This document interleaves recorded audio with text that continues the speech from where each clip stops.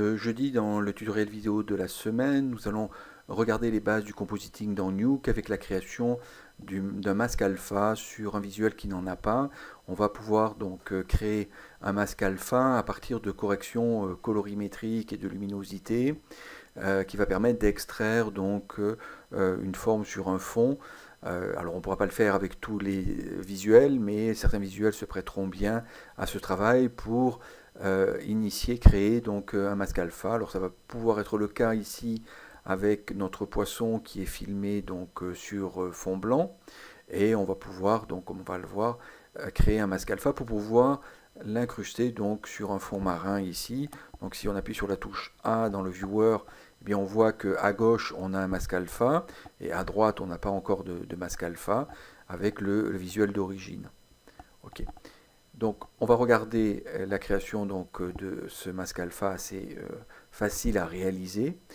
on va venir donc créer ça dans un groupe. Donc on a ici un groupe qui s'appelle création alpha et on a créé donc un ensemble d'éléments que l'on a regroupés. Alors ça c'est assez classique, on va le refaire ici. qu'on a regroupé pour justement donc avoir une construction nodale à part sous la forme d'un groupe. Donc pour rouvrir le groupe, il faut faire CTRL Enter. Et euh, ici, donc, on a le groupe qui est rouvert. On va le agrandir un peu, voilà. Et on a donc euh, les différents éléments qui constituent donc la création ici donc du masque alpha. Ok.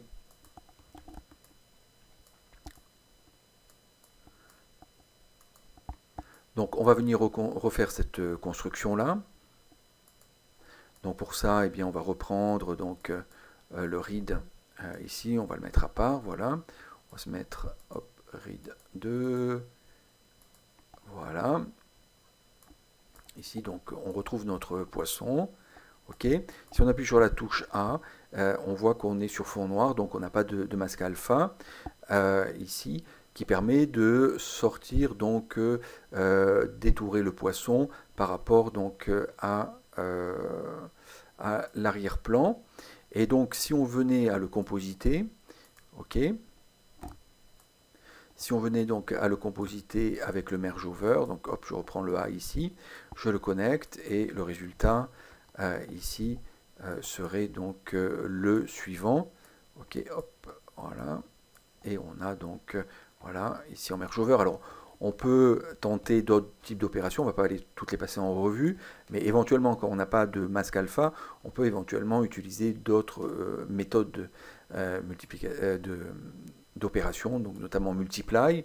En multiply donnerait presque un bon résultat.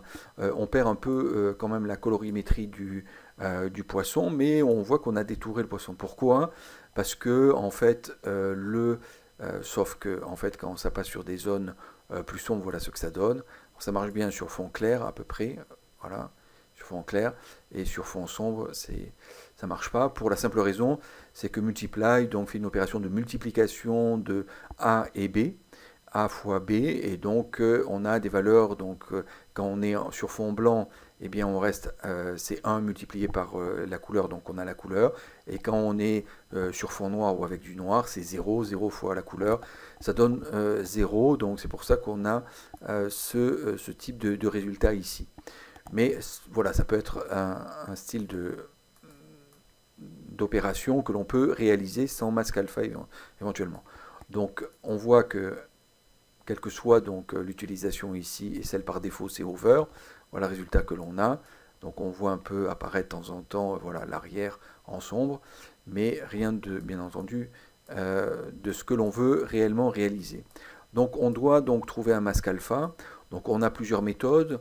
Euh, une des méthodes consisterait à faire une roto autour du poisson et de le traquer et de le suivre. Ça c'est une méthode qui peut être utilisée euh, dans certains cas de figure. C'est une méthode qui peut être très longue puisque on doit corriger frame by frame éventuellement.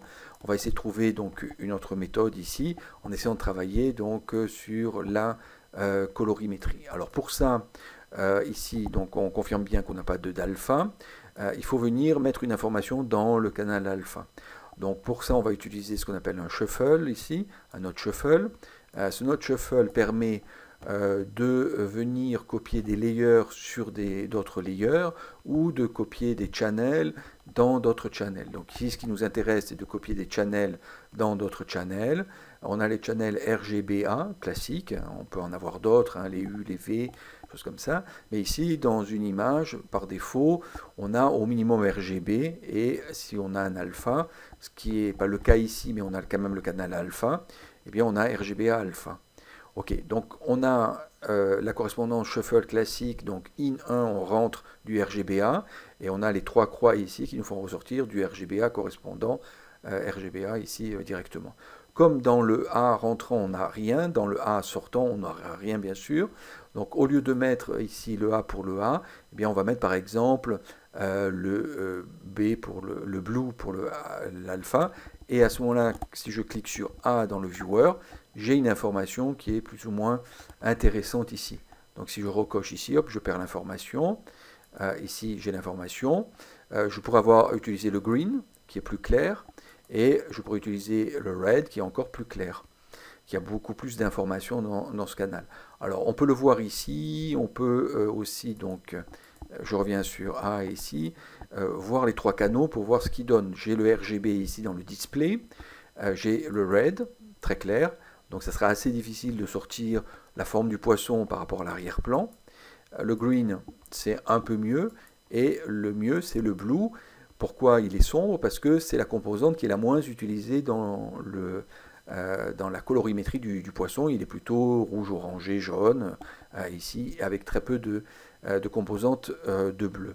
Et donc c'est cela que l'on va utiliser ici pour venir créer le masque alpha. Donc je clique ici sur Blue ici. Donc du coup, si je fais A, eh bien j'ai le masque alpha ici. Je reviens en RGB, A, masque alpha A, RGB à nouveau. OK. Donc j'ai une information maintenant dans euh, euh, l'alpha. ok, je me mets en mode alpha. À moi de me débrouiller pour finir donc euh, de travailler donc sur ce masque alpha. Alors une des premières choses que l'on peut faire, c'est faire un invert puisqu'on veut du blanc dans le poisson et du noir autour. Donc pour ça, on va utiliser, on clique sur Shuffle pour faire à, la suite l'inverte. Voilà. Ok, et effectivement, on a bien donc du blanc avec un gris et on n'a pas un, noir ici. On va pouvoir utiliser euh, un grade, ensuite de manière assez classique. Ok, on le connecte ici et on va venir un peu contraster, donc euh, euh, assombrir et contraster notre alpha ici, telle manière d'avoir un bon fond noir et avec donc la découpe du poisson en blanc. Alors pour ça, on va utiliser le grade. Par défaut, le grade, il travaille sur les channels RGB. Donc ce qui nous intéresse ici, c'est pas toucher le RGB, on pourra le toucher ultérieurement, mais ce qui nous intéresse ici dans la construction de l'alpha, c'est de modifier l'alpha. Donc je mets channel alpha ici. Et donc les modifications que je vais apporter, effectivement, touchent le channel euh, alpha. Donc voilà, alors là j'use trop le bord du, poisson avec le black point. Je peux donc, euh, moi, euh, travailler ici, euh, éventuellement le white ici me permet de, finaliser un peu. Le multiply, de, voilà, d'avoir quelque chose de gris ou de très blanc ici pour m'assurer d'avoir vraiment une découpe blanche. Donc je contrôle un peu donc le masque alpha ici dans, avec le grade pour terminer ici. Ensuite, je peux très bien donc utiliser le node pré-multiply euh, ici, alors euh, je reviens en euh, RGB ici, ok. Alors je vois mon poisson qui est bleu, je me suis trompé sur le, enfin j'ai oublié plutôt sur l'inverte, il y a entre parenthèses all, et en fait je voulais inverser juste le channel alpha. Alors si je veux un poisson bleu, je laisserai tel quel, mais je veux pas un poisson bleu, et donc je prends juste l'inversion sur l'alpha, et je retrouve mon poisson ici. Prémultiply va permettre de prémultiplier donc euh, le RGB avec l'alpha, by euh, alpha, c'est par défaut ça.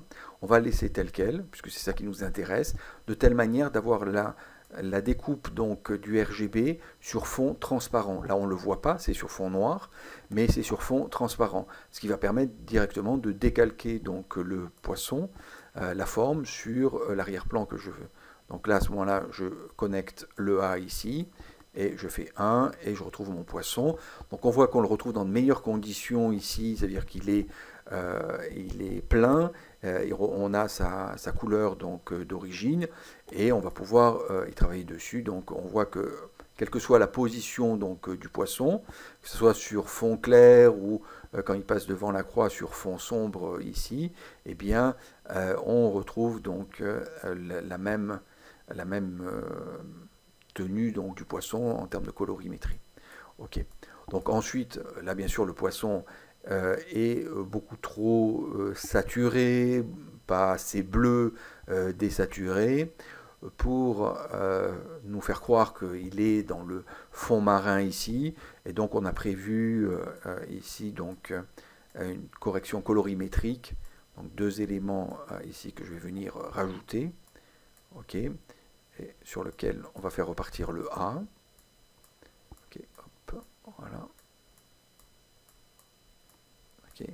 Et qui va permettre donc de euh, désaturer un peu, donc on voit désaturation sur le color correct, ici, mise en place dans le gain d'un bleuté ici, et éventuellement un petit travail donc euh, sur le grade si nécessaire, voilà, pour assombrir ou euh, diluer le, poisson ici. Ok, euh, donc voilà pour la création euh, assez simple ici d'un masque alpha. Et dans tous les cas, euh, on vérifiera, donc quand on vient sur le grade, j'appuie sur 1, voilà, j'ai mon poisson ici, avant de compositer donc avec un merge over ou autre, hein, de savoir quel est mon alpha. Est-ce que j'ai un alpha? Est-ce qu'il convient bien ici à ce que je veux faire? Ou est-ce que je dois en produire un? Donc ici, juste avant le merge, on voit que j'ai un alpha qui va bien pour venir donc compositer euh, ensuite donc euh, avec euh, le fond marin ici en arrière-plan.